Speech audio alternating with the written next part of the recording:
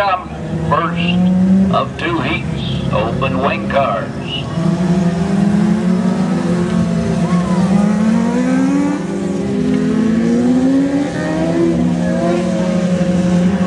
Kevin Jiggett in the 85 car.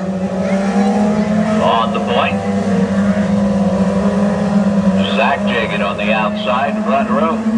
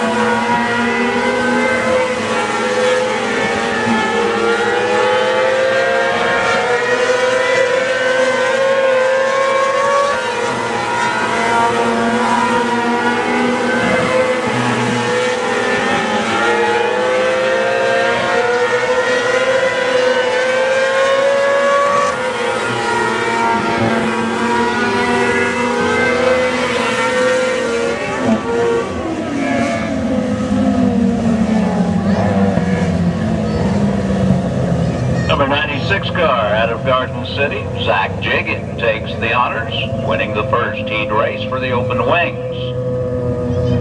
17 car, driven by Cole Wood out of Woodland Park, Colorado, sponsored by Monster Energy. Number 22, John Campbell, Little Hobby, finishes in third place.